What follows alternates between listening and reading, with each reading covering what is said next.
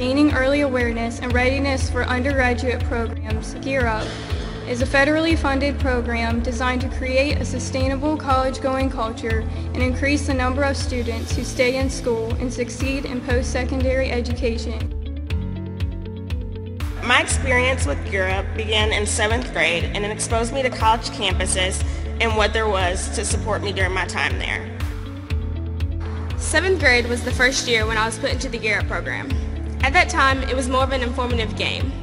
College and saving money was not in my agenda. I was nowhere near any of my short-term goals. My Gear experience has been life-changing.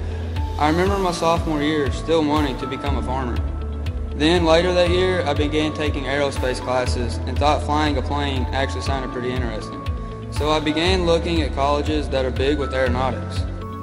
My school is really important to me, so having this opportunity has really helped me understand more about what college is about and how much it's going to cost and where I want to go after high school. Our goals are to make sure every high school student is ready to succeed when they graduate academically, financially, socially, and emotionally.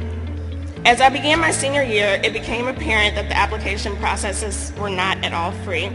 But before I started to panic, I just remembered everything that Gear Up had taught me. To me, Gear Up has been a game changer. It has shown me that there are a lot of opportunities beyond Washington County and beyond Kentucky. I learned so much more about myself and what I want to do with my future.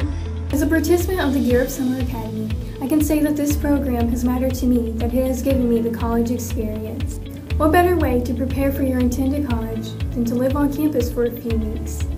Gear Up has helped me realize that pretty much college is going to be some of the most important four years of your life. We are serving the students of this country at levels that no other program like this ever had. I really want to make my parents proud and show them that I can make it uh, through my schoolwork and through the Gear Up program, it's showed them that I can make it more than just my homework and my grades. The courses provided by Gear Up gave me a broader understanding of the diversity I had yet to experience, coming from a small rural town. I can honestly say that it has impacted my life in a positive way. When I think of the Gear Up program, I think of how much it's helped me throughout my high school experience.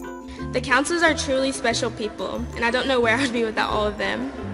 They are the key to my success. If it wasn't for Gear Up, I would not have had the opportunity to build a satellite, which I am proud to say that I did. It is also where I learned that I was interested in space science.